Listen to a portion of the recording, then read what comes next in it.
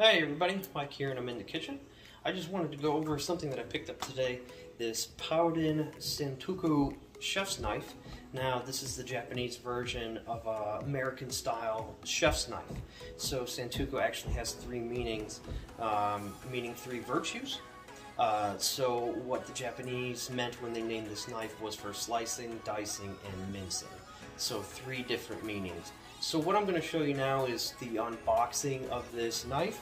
Um, I'll show you how it slices through an apple, minces through everything, or uh, dices through it, and how great this blade really is. Alright, now that my food's prepared, I washed off my apple, got my cutting board here. Now I want to unbox this knife that I just got.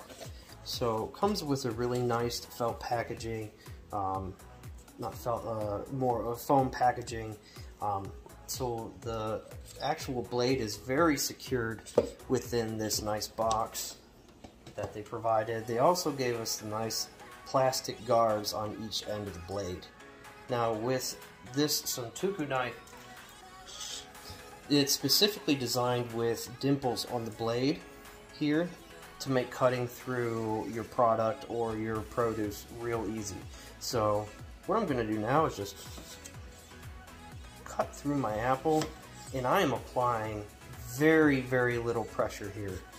And this knife is just dicing through this apple like it's paper. And then if you want to cut it up into smaller pieces,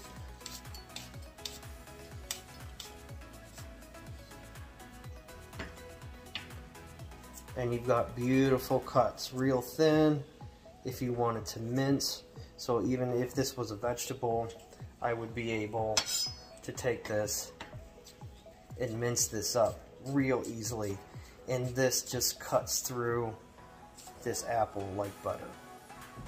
So overall, I'm super thrilled with this PAUDIN Santoku knife. Like I said again, this is just a Japanese version of the Western style chef's knife. Um, got a really nice wood grain handle here, and like I said, really nice design steel with the dimples on the on the side of the knife that makes cutting through your product real easy. Real thick steel.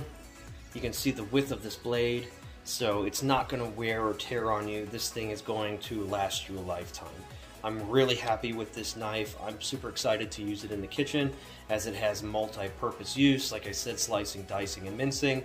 So this knife is going to get a lot of work. So I'm really happy with it. I hope you will be too. Go out and get yours.